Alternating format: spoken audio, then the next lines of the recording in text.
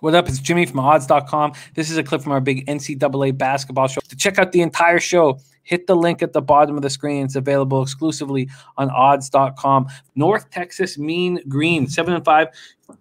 3 and 1 in conference at the Rice Owls, 10 and 6, 4 and 4 in conference. We're at Tudor Fieldhouse in Houston, Texas. Let's see what we are dealing with from an odds perspective here in this 8 p.m. start with North Texas. North Texas opening up as five point favorites, quickly moves to seven. This total opens up at 135. We see hooks on the board at about half of the books. So 135 and a half at about half of the books. Uh, North Texas coming off sweeping UTEP at home on January 15th and 16th. It was their third win in four games. Last weekend's games against Old Dominion were postponed due to positive COVID cases in the ODU program. North Texas has won three of four and six of eight. They're led by point guard Javion Hamlet, averages eight, 12.8 points, 5.2 assists. They have two other players scoring double digits, and James Reese at 10.8 and Zachary Simmons at 10. They shoot the ball very well. They average 49.1% from the field, 39.8% from three, and 74.1% from the foul line. Rice has lost three straight. They're coming off back to back double digit road losses at UAB on Friday and Saturday. Versus UAB, they played without their second leading scorer, Travis Evee, or Evee, uh, who's out indefinitely with COVID. He's an important piece averaging 15.5 points per game. They are led by Quincy Olivari, who averages 16.1 points, 4.8 boards, and hits 46.4% from three.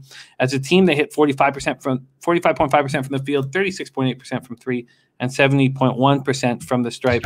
Max, let's go. Conference USA action, North Texas Rice.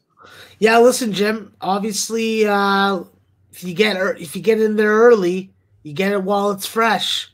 I'll let you put two and two together on what I'm talking about. I may be talking about sports betting, maybe talking about something else. But it also holds true to this particular game. Yes, obviously there was a way better line available. I was able to jump in only at six. I think that at North, with North Texas, this is a team that has an opportunity to play a team that there's blood in the water.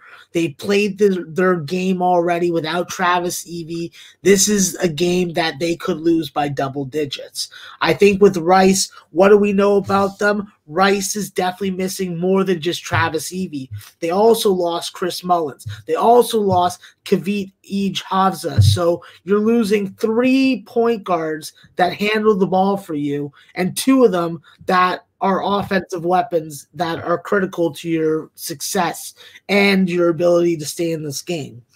I think it's going to be problematic. You know, I think that Quincy Olivari is going to have a lot on his shoulders. Luckily for him, this is a home game. And if you've watched Rice this year as much as I have, because I love to watch low quality, mid major, low major basketball.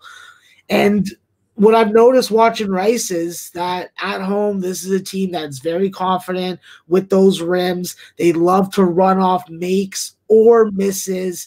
They're really impartial to that.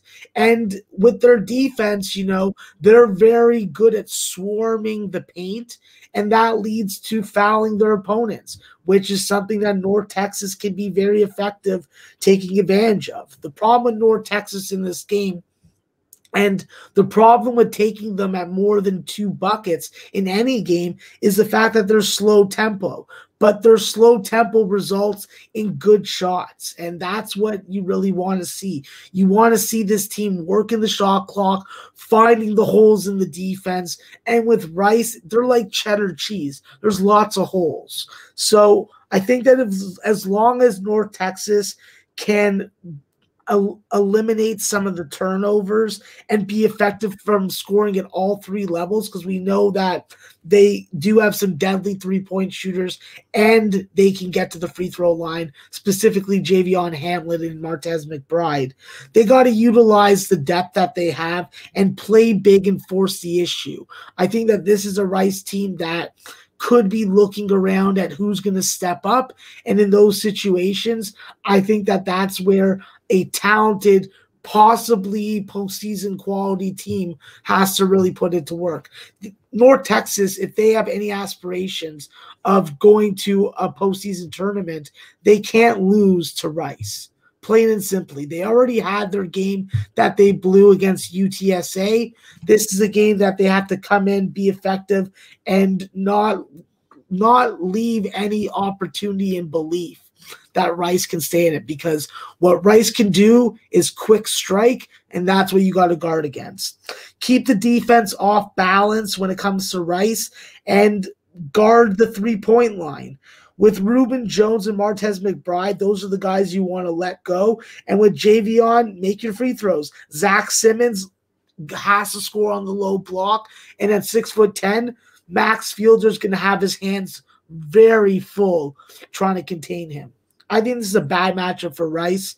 I think that although this is a slow tempo North Texas team, the three point defense is going to let Rice down as usual. I think that uh, North Texas gets 75, and I think that uh, Rice will do the rest. So this is a spot where I like the over and uh, like North Texas. Well, let's lock you in. First off, Max, there are a couple six and a halfs on the board, but they're juiced to minus 118 and minus 120. The sevens are minus 110. There's just two six and a halfs at FanDuel and BetMGM. Does that interest you at all? No, I'll take the seven reluctantly, even though we've seen some spreads get beat by a point or two the last couple shows.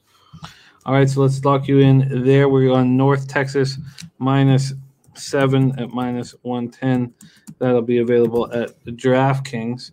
And then we get to totals here. Let's go to the odds.com odds page. This game is uh, full. So let's see what we are dealing with from the totals perspective. And here we go. We have 135 and a half just right across the board. Right across the board. Uh, minus 110 is the lowest uh, juice. Over 135 and a half and minus. Oh, Wow, as soon as I say that, I see circa, which is one isn't one of the books that's on odds.com, 134 and a half there. Lock it in, Jim. Lock it in. 134 and a half minus 110 at circa. Over 134 and a half. Minus 110 at circa.